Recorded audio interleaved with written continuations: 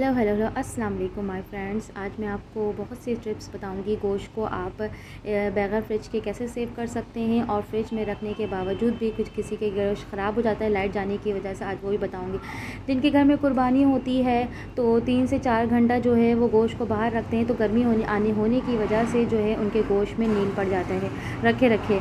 तो आज मैं वो ट्रिक्स बताऊँगी। जैसे आपका हिस्से का गोश्त रखा है तो आपने उतने ही हिसाब से उतना बड़ा मलमल का, इलॉन का कपड़ा लेना है। उन्हें सिर्फ़ सिर्फ़ सिरके में उस कपड़े को डिप करना है और जितना गोश का कपड़ा है वहाँ पर आपने कवर कर देना है। उतने हिस्से को जितने सिरका जो है कितने गोश में लगेगा, उतना हिस्सा जो है आपका ख़राब नहीं होगा। आते हैं टिप नंबर टू की तरफ़। आपने गोश लेना है। ये मैंने जितने भी गोश लिए हैं, सारे गोश को मैंने सबसे पहले अच्छे तरीके से वॉश कर लिया था।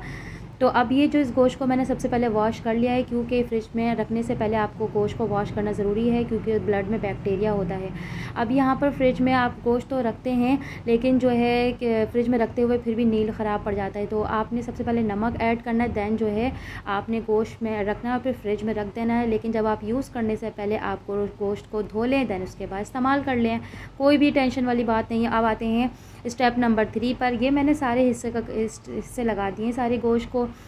यहाँ पर एक हिस्सा लगा दिया मैंने कौरमे के, एक लगा लिया मैंने बिरयानी का, एक बना लिया कोफ्ते के लिए, एक बना लिया ताहरी के लिए बना लिया। आपने अलग अलग स्टेप के बना लिए इस तरह से तो आपको आसानी होगी और इसके बाद बनाने के बाद, जो अलग होने के बाद आपने, और मैंने इन सब गोश्त को सबसे पहले धो लिया था। धोना मस्ट है। अगर आप बगैर धोए डालेंगे तो ये ब्लड में बैक्टीरिया होता है। बैक्टीरिया होने की वजह से जब आप निकाल के दोबारा धोएँगे तो उस तरह से अच्छे तरीके से नहीं धुलेगा।